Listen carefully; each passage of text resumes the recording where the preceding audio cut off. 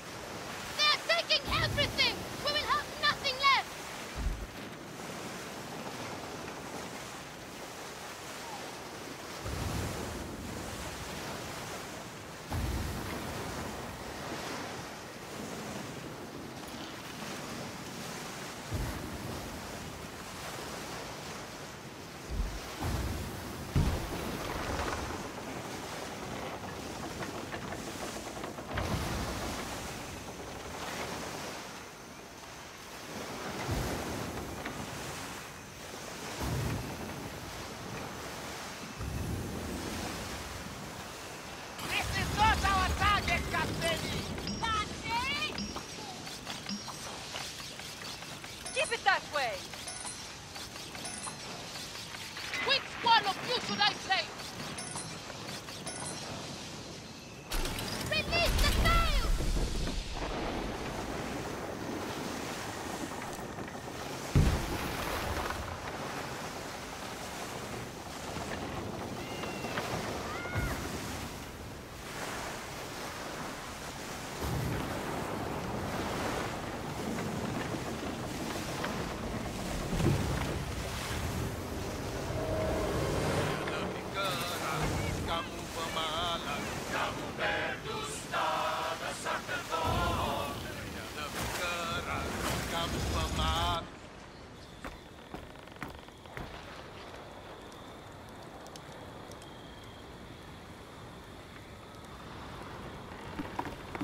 That armor, you're sure to outlast your foes.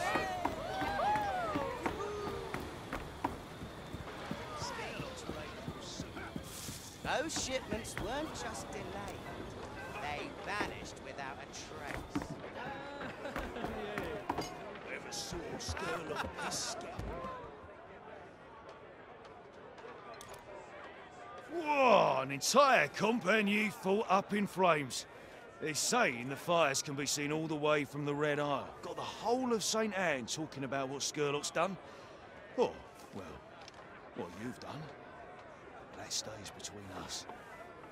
You know, you looked a right natural out there in Scurlock's boots. Could see you growing into a pair of your own someday. Scurlock's reputation is safe, and our little French turncoats are satisfied. What a world we live in, eh? Doesn't matter whether you're a pirate or a prefect, you'll stab someone in the back just for a shot of glory and gain. Fine work, anyhow. The boss man's sobered up, and he's already plotting to strike further into the heart of Compagnie territory. I'm sure he'll want to share these plans with you. So head inside when you're ready. Who knows? Scurlock might even share some of the wine this time.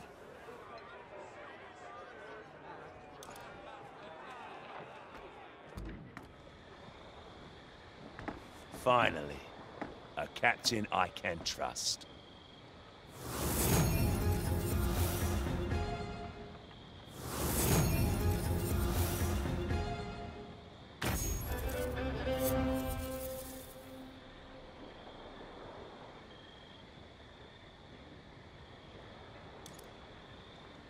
Karadec threatens my life, and now makes sport of my ships. He prowls about in that warship, Le Spectre. Cargo meant for Tulin falls into Karadec's hands. He taunts me like I'm a caged animal and I've got the urge to bite.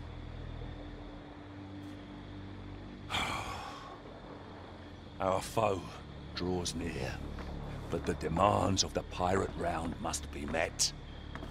If Tulin removes his backing, the port will crumble.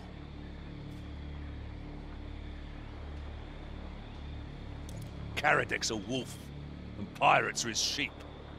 We must lure him into a trap of our own making. Karadec will fall, and I trust your hand to deal the blow, but have patience. I would hate to lose a good captain. The coast of Africa bears fruits yet unplucked. Bring them to me, and I'll see Tulin plied. This port will stand. My lesser captains, I'll keep them here in the Red Isles. You'll head off to the coast of Africa, while I feed them to Karadec. Watch out for the Spectre. Get those goods, Cully. So my captain's deaths may serve a purpose.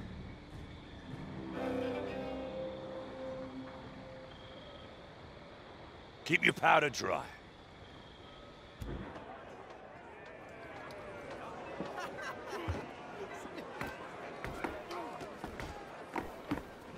Vera's refinery skills are...